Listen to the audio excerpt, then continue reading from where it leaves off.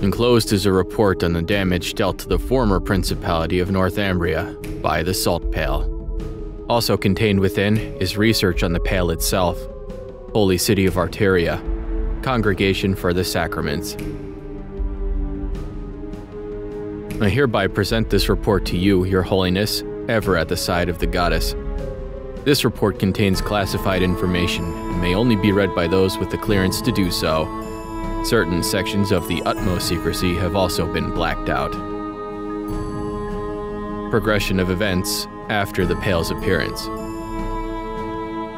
July 1st, 1178, 5:45 a.m.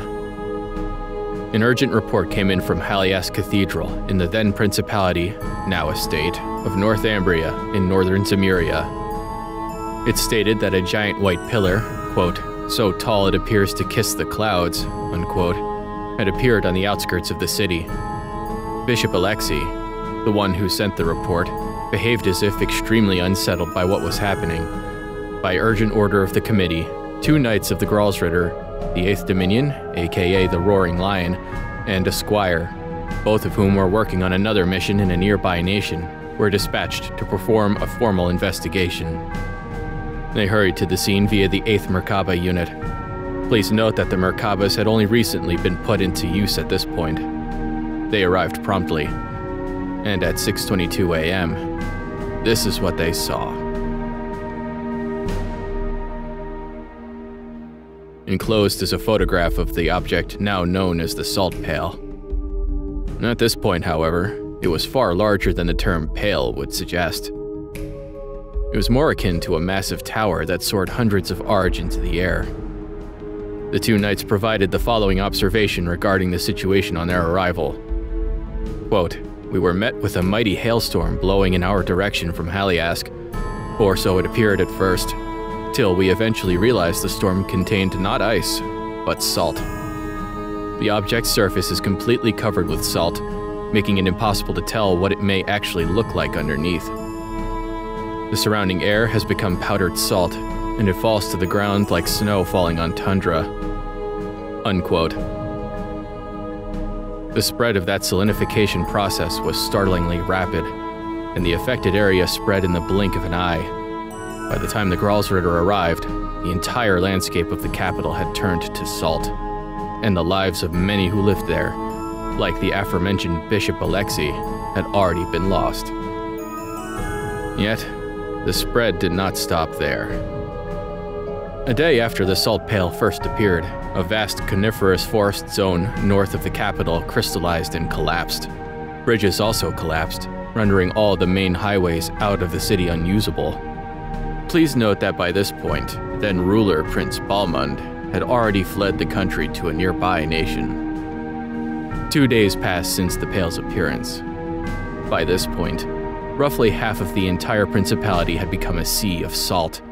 Countless refugees had fled to the southern side of the country because the River Grieve stood between it and the affected area.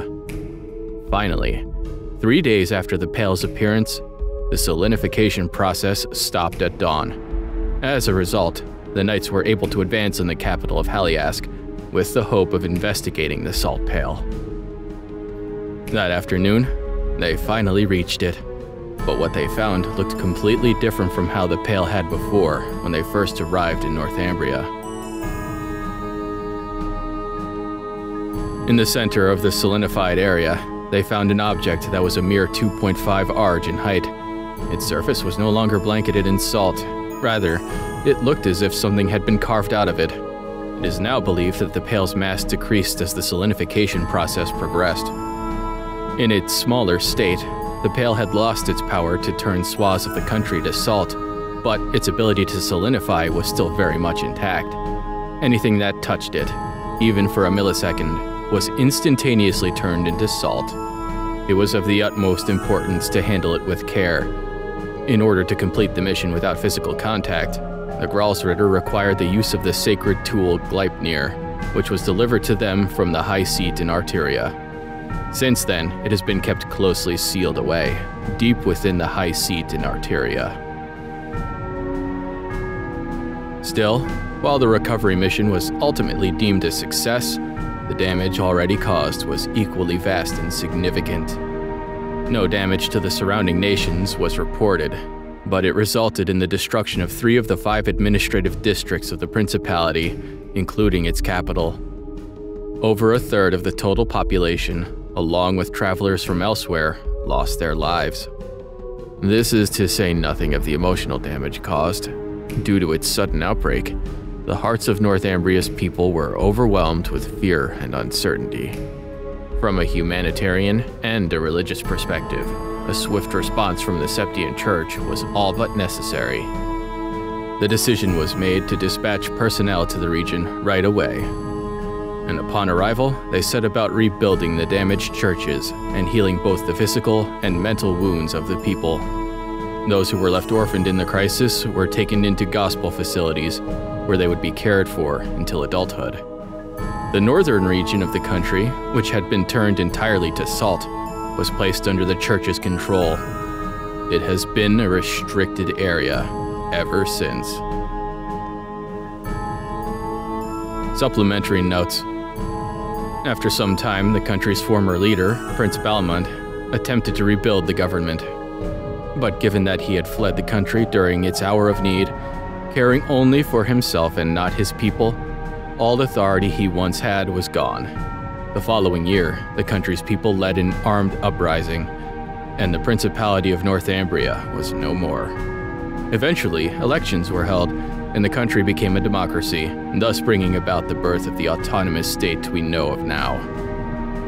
This was also when the former Principality's armed forces reformed as a vigilante corps Given the extreme poverty of this state, however, the majority of said corps considered gathering foreign currency to be of the utmost importance.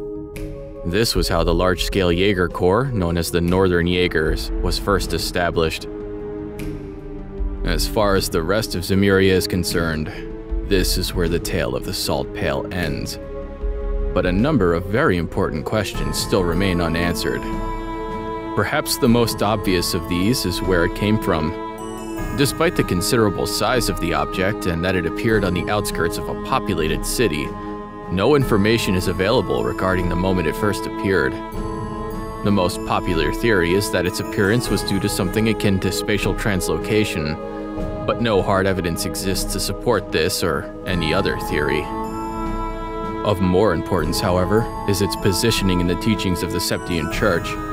The Pale is clearly different in nature to artifacts, and appears to be a more fundamental, quote, manifestation of the goddess powers of creation, unquote. Committee Report. With the limits of our knowledge at present, this is as far as we can get to the truth. There are some who have proposed it may be one of the Sept-Terrions, but no evidence has been found in legend or scripture to support this belief. Nevertheless, these questions and many others need answering, and the Congregation for the Sacraments continues to study the Salt Pale to this day.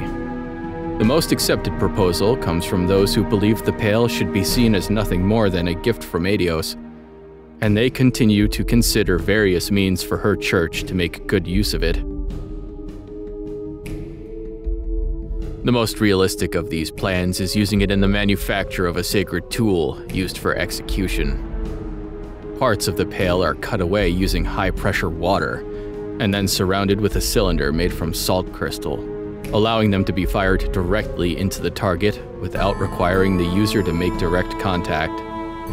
Should the bolt make successful contact with a human target, their whole body would turn to salt, killing them in mere seconds. There are no known means for reversing or stopping the process. This approach does not come without flaws. It seems unwise to be careless with an object we still do not understand the true nature of, for one thing.